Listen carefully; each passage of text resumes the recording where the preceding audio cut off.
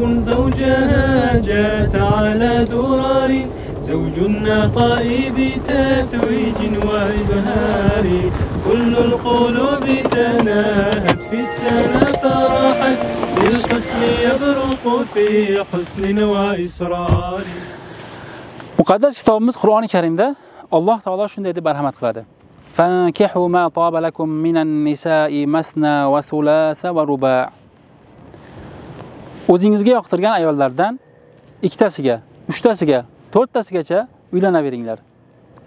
Payg'ambarimiz sollallohu alayhi vasallam hadis sharifda shunday deb marhamat qilib aytadilar ya ma'shara shabab man istata'a minkumul ba'a falyatazawwaj.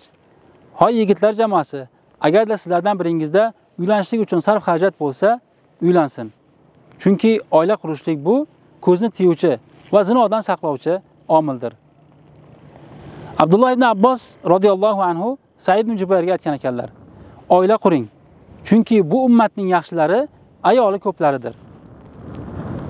Ushbu oyat karimaga va hadis sharifga ergashgan holda bir kishi shayx usaymin rahimaullohdan so'ragan ekan ey shayx men ajr umidida bir muslimani iffatni saqlashlik uchun e, ikkinchisiga uylanmoqchiman. Shunga siz nima deysiz? deb so'ragan ekan. Shunda shayx rahmaulloh aytgan ekanlarki agarda sen buni ajr umidda qilayotgan bo'lsang oila qurishlikka tayyor bo'lib qolgan.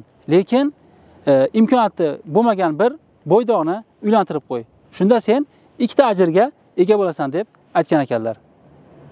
Bizlarning navbatdagi xayrli loyihamiz oila qurishlikka tayyor bo'lib qolgan.